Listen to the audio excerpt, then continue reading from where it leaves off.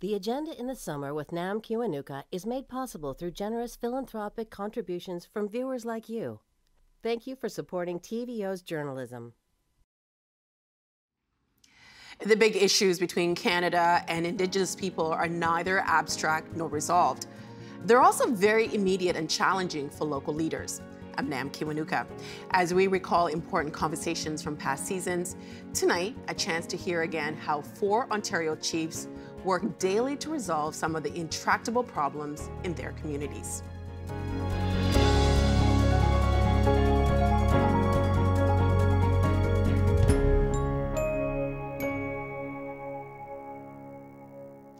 For many of us, having access to clean water may not be front of mind.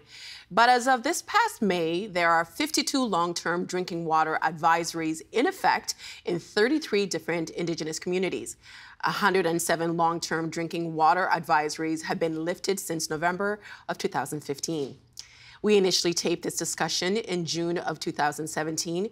Scugog First Nation was on the cusp of rectifying a drinking water advisory that had been in place since 2008. The boil water advisory is still in effect. The boil water advisory for Curve Lake First Nation is also still in effect. Within Indigenous communities, chief is a leadership position that can be inherited or elected, and some First Nations have both. Here is our conversation from 2017 with four chiefs from across southern Ontario. I want to start off just going around the table here with each one of you individually to try to understand your particular part of our world a little better. And uh, Chief Lynn, I'm going to start with you. Where is M'Chigeeng on Manitoulin Island? M'Chigeeng is in the heart of Manitoulin Island. It is uh, one of six communities on the island. North Channel, North, North side, Channel, right? Georgian Bay.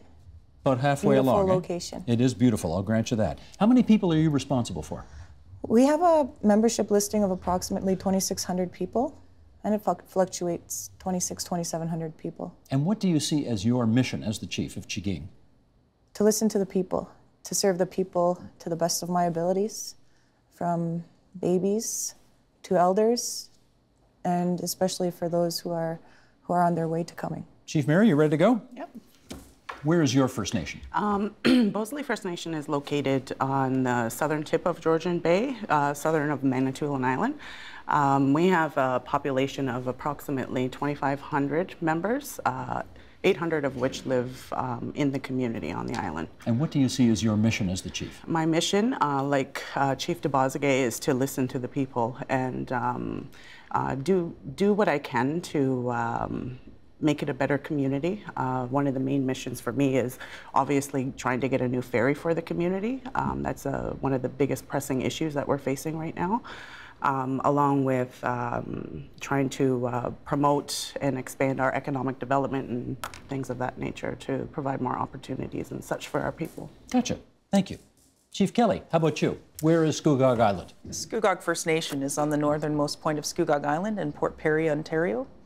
Uh, we have, uh, I think our membership list is up to 278. 278. Small but mighty. um, we have approximately 100 people on reserve with their families, and then the rest of the membership are spread out across Canada with a high concentration in and around Vancouver, actually. And so, what do you see as your mission? Uh, my mission is to represent the interests of all the people uh, fairly in a fair minded way. I want to listen to my people, as do the other chiefs, obviously. Uh, I want to secure a financial future for my community and um, really be a role model to the youth and uh, give them a future that's bright and full of pride. Gotcha. One last question. What are you holding in your hand? That's a tobacco tie. So when I speak with it, it gives me a bit of, um, bit of calming. Gotcha. Okay, Chief Phyllis, where's Curve Lake? Curve Lake is uh, just north of Peterborough. We're on a peninsula uh, between Buckhorn and Chemong Lakes. Um, and we are very much part of the, the beautiful Kawarthas. How many people? We have about 1,600 currently, but uh, with, with that, there's an additional uh, few that are occupying our territory through leases. So they lease the, the land uh, and uh, contribute to the, the, um, the, uh, the need to maintain some of our, our roads, policing, et cetera. I see. Yes. And your mission, what do you see it as? I, I much like our, our women here, we, we need to listen to our people. Um, for us, it's, it's about development right now. We, we have a growing population and we need to ensure that our children and, and youth are, are part of that growth and, and their, their uh, future is, is certainly uh, accommodating, you know, from the perspective of our, of our leadership. And uh, for us, uh, we are a boil water community, boil water advisory community. How so long have you been that? we have been uh, having lots of efforts in terms of addressing things for 20 years. 20 years. 20 years, yes. So um, that development is hindered by the, the fact that we don't have the good quality water For sure. that we need. More on that to come. Chief Kelly, what is, in, in your view, the number one issue that you're facing right now? Much like Chief Phyllis in the Curve Lake community, we're under a boil water advisory. Um, we've been under a permanent drinking water advisory since 2008. Um, but before that time, we were under many repeated uh, BWAs um, since, gosh, the, ner- the early 90s. So, being a community in Durham Region and an hour and a half northeast of Toronto, I was it's say, quite unheard of. but you, you are not that far from this studio and you're having to boil water. yes. How does that make any sense at all? N- none, none at all. Um, Indian Affairs, as I call them, I'm Ministry of Indigenous Affairs, pardon me. Renamed, uh, yes. renamed. Um, Indian Affairs has, has um, been involved with us in our boil water, water struggles as well as Health Canada, but they've taken their sweet time in getting the money out. The answer I keep hearing back is uh, that the policies within the department do not match the political promises made by the governing party. So I don't see that as a good enough reason. However, I do believe uh, we are on the cusp of coming to some kind of a, an agreement or an arrangement with the federal government. What gives you that Um, confidence right now? Uh, that's what I'm being uh, informed of unofficially, so I can't uh, quite uh, quite make it official yet. And until I see something in writing, it isn't official. Now, we've heard 20 years over here for boil water advisories. How about for you? Yeah, so since in and around 1992 for the boil water advisories at Scugog, but a permanent drinking water advisory, which is the sort of next level of severity since 2008. Hmm. How do, how, do- how do people manage? Um, we, we bring in water, we have pump houses that we service, we hire qualified water operators and do our best, basically. And, uh, and as a community, we support our members um, with bringing in bottled water and thing, the things that they need. But uh, it's pretty tough. And I have a two year old baby, and I can't wait to have clean water in the community for her and all of our kids and our elderly people who just, I mean, all of my people need it, obviously. It's a human right. It's hugely concerning. Chief Phyllis, uh, I want to, you, you talked to us about the boil water advisory already. What other issues are huge for you at the moment? I think settling our claims is, is a huge issue, and, and that's one of the topics our community uh, continue to uh, um, call my office about and or raise in, in our, our uh, meetings, our annual meetings and our, our periodic meetings. They keep saying, when is our, our flooded claim going to be resolved? When is our uh, Williams Treaty going to be resolved? I think treaties and, and the, the agreements that the government have made in the past, um, they're long-standing, and there is obviously uh, uh, nothing happening, nothing to be um, made right with all the wrongs that have happened. So you feel very much dependent, am I saying this right, on the government of Canada to sort of make things right? Absolutely. Many promises have been made, uh, especially with this government, and we're still waiting. We, we absolutely need to have some of those supports in our community. Okay, the, I got to say, the conventional wisdom on the Trudeau government is, of course, they, they immediately said yes to all of the recommendations of the Truth and Reconciliation Commission. And, you know, what I hear fed back to me frequently is the tone is much better. There is a minister who, you know, is on the case and who cares. Um, but you're saying we're still waiting to see evidence. Is that right? are, I, I guess I, I need to remind uh, people that uh, these are calls to action. We have yet to see the action. You've heard the call. It's, it's not enough to be on paper. Hmm. We need to see the results of those uh, recommendations. You say flooding has been an issue for you? Flooding has been an issue. How did that happen in the first place? Uh, the Trent Severn Waterway System, again, a, a Canada uh, initiative.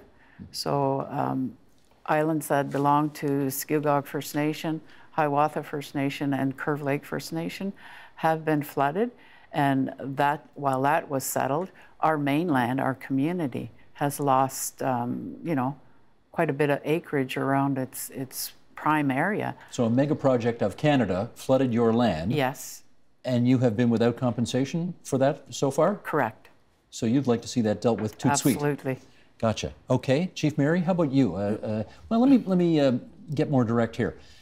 All over the country, in every community, we see issues of drug addiction, we see issues of youth alienation, we see issues of suicide, we see issues of mental health, and we're told these issues are all far more urgent on reserve. Is this your experience as well?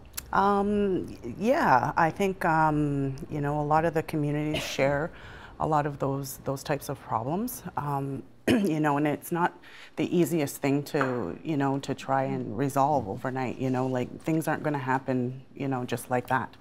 Um, I, you know, we can do what we can as leadership to try and drive um, that particular agenda, but really it comes down to the entire community and wanting to make that change and try to address the, the root causes of those issues and you, tackle them. Do you see that there? Do you see that desire there to address the oh, root absolutely, causes? absolutely. Our um, actually our youth council um, is uh, very active in you know trying to promote that, and um, they've recently contacted the We Matter campaign um, to come and facilitate a workshop in our community to um, do that. Um, uh, the We Matter campaign is uh, fairly new.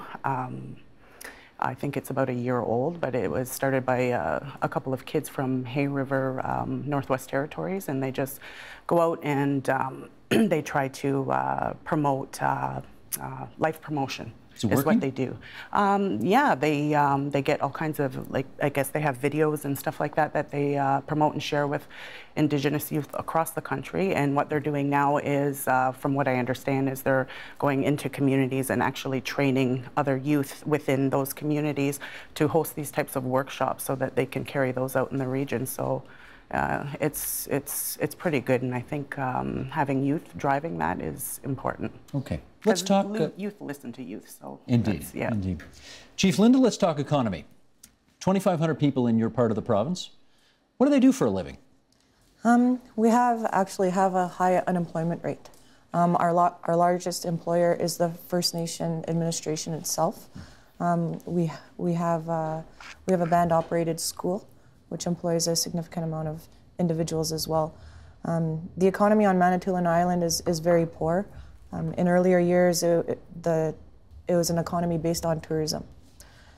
Obviously, we're on an island and ha only have one bridge to for access. One bridge and one ferry. 24 hours or 12 months a year, and a and a ferry for four or five months a year. Mm -hmm. um, and with the economy in general, the Canadian and American economy, which used to drive the tourism on Manitoulin Island, has has declined over the years. So we we face, uh, you know, we're starting to face significant poverty levels. I think when we talk about economy, we have to look back at where we came from to where we um, are at today. Um, history, history of my community was our resources were our economy was vast with fishing, uh, making maple syrup, making sugar, um, some forestry. Um, Any of that still happen? Very minimal, very minimal. Um, our land base is very small. So we don't have the land um, to do those economic ventures. Now, here's the thing if things aren't working well in a particular community, they leave, they go somewhere else mm -hmm. where, there's, where there is work. And that's a, been the story of many people over the years. Mm -hmm. Because of your attachment to the land, that's not an option for you, right?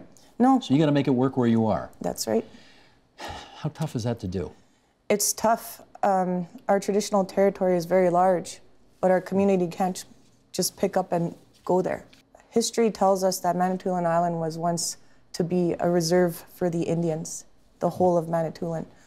When the settlers came and found um, good farming land, good access to the Great Lakes, that's when Indian Affairs came in again, and um, the superintendent at the time uh, signed a treaty with, with the First Nations. And, and the history of that treaty um, is that there was a huge miscommunication. My, my family is a signatory to that treaty, and our, our oral history tells us that what was communicated then on that paper was not communicated verbally. So you have two nations, one that is fluently uh, Ojibwe Odawa Potawatomi dialect speaking Anishinaabeg to a English speaking country. So our understanding was we will we will live in peaceful coexistence with each other, and you can come and live with us, but you cannot dig deeper than the, the depth of a plow. And, ex, and ex, in exchange of that, um, the crown will ensure that you and your families for generations to come will be taken care of. And I guess you're still waiting for that treaty to be made We're good still, on. we're still waiting. Still waiting. How many years? You know, since the beginning of time, since the arrival, since the arrival, Steve. Multiple generations. Multiple generations. 300 years. Something like that, eh? even more than that, right? When, when we look at the land base of Canada, um, particularly here in Ontario, um, my family history tells me that my family, what my family was involved from Lake Superior right down, right down to Lake Erie, Lake Ontario. That's where they traveled.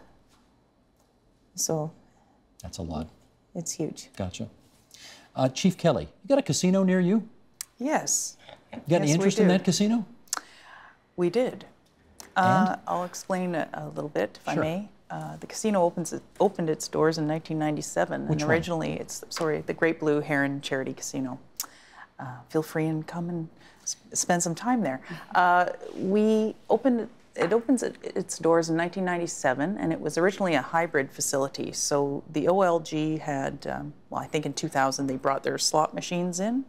They conducted and managed the slot machines, and the Mississaugas of Scugog Island First Nation proudly conduct and managed the table games. Uh, it was a small boutique charity casino, and it has a certain regulatory framework uh, and, and legal framework around it, such that uh, not all the monies would directly come back to the community per se. Uh, we uh, proudly struck up a charity and uh, chose to opt for the charitable model in 1997. 100% of my community wanted the charitable model. And uh, we struck up a charity that's basically the board was made of our members and uh, has it has given away, gosh, um, since 1997, I think it's over, at, at least over, I think, two million, two and a half million um, into the Durham region and local economy. So that uh, is something, a point of pride for my community. But I'm just, I've been mindful of the fact that, um, you know, people probably wonder, well, why, if you have a casino, wouldn't you have clean water? And that's a valid question, uh, one that I've been scratching my head about since coming on council. But to be honest, um, the Crown was a fiduciary duty, which we obviously choose to make the Crown uphold, and we've been working with uh, the federal government in that vein. I don't have the expectation necessarily that the federal government would pay for our entire water treatment facility. Um, I've been wanting to work with them, and in order to do that, I've had to conduct various studies and testing over time to gather data to satisfy their policies, and that has taken decades to do and was started before I became chief and really got underway, I would say, in 2014. Uh, so in 2014, we started the studies, and again, I'm, I'm on hopeful we're on the cusp of clean water. Uh, but We're I digress. we're into jurisdictional stuff here, though. That casino money goes to the province, Yes. and the money you need to fix your water is federal money. So Right. we have a disconnect here. Yes, there very very much there is one. Um, I, I'd also like to say, um, I believe it was when did we sign those agreements? Um, 20, 2015, I think.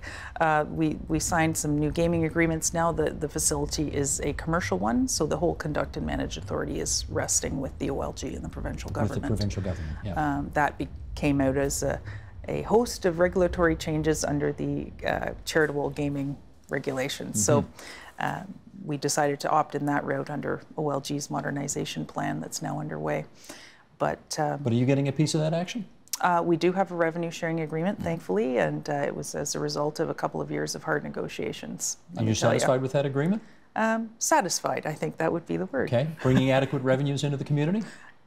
Just adequate. Just yes. adequate. Okay. Fair Yes, enough. indeed. There is obviously in politics in this country a lot more male leadership than female leadership, and I want to explore for a few minutes here whether there's a difference. Okay, Chief Williams, what do you see? Um, I have to mention and honor the fact that our uh, first woman chief in Canada came from Curve Lake, Chief Elsie Knott. I'm the second elected ch- uh, woman chief in Curve Lake. So there was a, a big span there. Um, I, I don't, I think women are, are taking uh, um, their rightful place. I think the fact that, you know, yes, we can run a household and yes, we can do other things, uh, be teachers, lawyers, etc. But I think there's a place for us in, in politics. I think there's a place where we need to have our voice. The fact that uh, um, women are becoming more and more leaders um, is, is, is significant. And, and I think, you know, being part of those as chiefs' assemblies and such, I see more people going to the microphones and, and having that voice. In Ontario, I think the last count I, I, I uh, researched was that there was about 41 women chiefs in Ontario and Out of- about 128 across Canada. Out of how many First Nations? 634 across Canada and 133, four?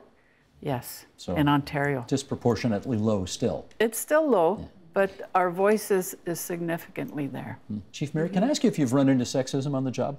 Um, I can't say that I have. Um, I think um, there's been it's been pretty respectful in terms of that. Um, in terms of me being a female and being a leader, I I haven't run into um, any of those sorts of issues. I think um, in my community in particular, I um, when I was running for the elected position, um, there was a real push for female to um, to take the lead again. Um, and like Chief Phyllis, um, I'm the second woman leader. The one before me was uh, former Chief Valerie Monague, and uh, she has been, you know, one of my mentors throughout the years. And I was very lucky to have her kind of plow the path for the women leaders that are going to follow her. Chief Linda, I want to ask you. You have a bit of a, well, I guess. Okay, this is a terrible question for me to ask, but you and I know each other a little bit, so I'm going to ask it already. How old are you? I just turned 35. Okay, so you're not only dealing with potentially issues around gender, but maybe around your relatively young age as well. 35 is a very young age to be the leader of anything. Uh, any issues around either of those things? At the beginning, I mean, in like um, my my fellow colleagues here, I, I am the second uh, elected female chief in my community. The first was uh, former Chief Isadora Bebamash, um, who still is a is a pillar in our community, and I look up to her very much as well. Um, when I when I ran for this position, that was a question of the community: Is she old enough? Is she strong enough? Can she do this? Part of my own growing up and history is that I've always worked hard. I've always uh, um, attempted to overachieve anything I've ever put my mind to. And I always made sure I fit in somewhere. But you did get those questions, eh? I did, I did, and I still, I do as well today. I get comments from um, federal government officials. I get comments from provincial government officials. Um, I, but from just general people, um, they're they're pretty supportive. My community is also very supportive now. Um, I feel that um, since I now have uh, about a year and a half under my belt.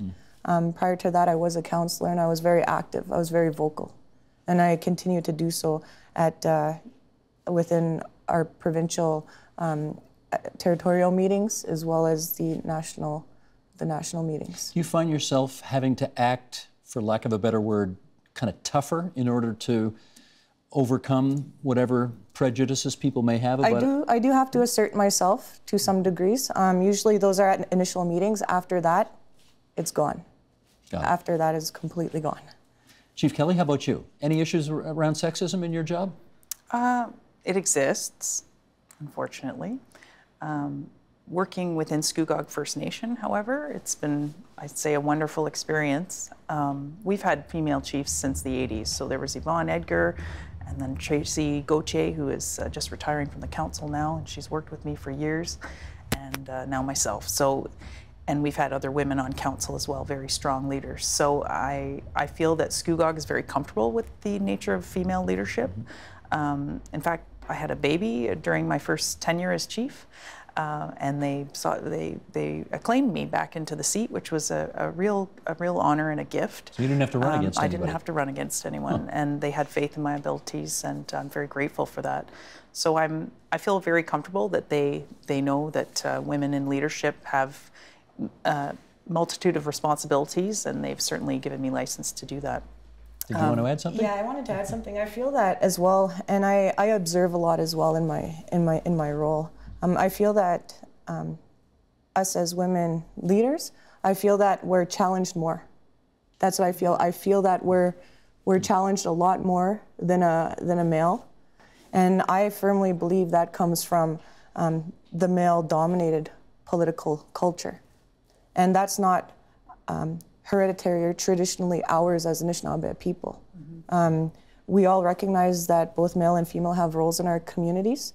Um, women in our communities were always leaders. They're life givers.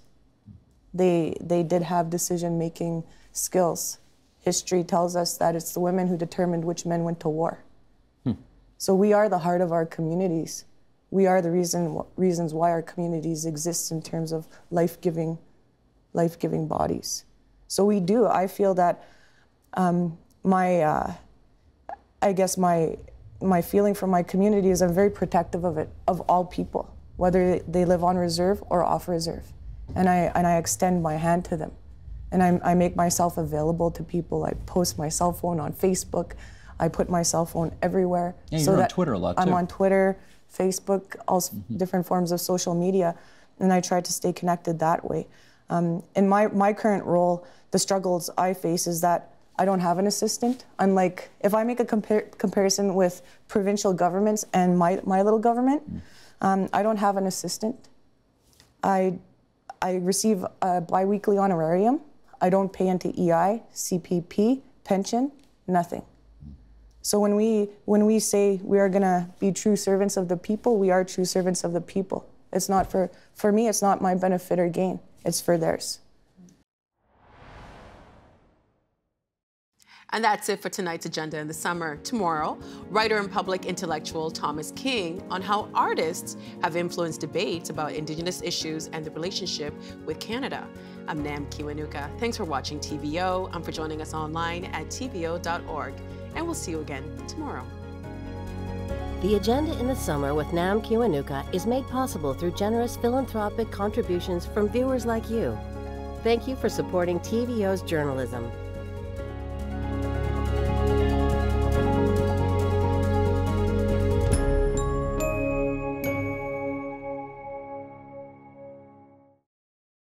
The Agenda in the Summer with Nam Kiwanuka is made possible through generous philanthropic contributions from viewers like you. Thank you for supporting TVO's journalism.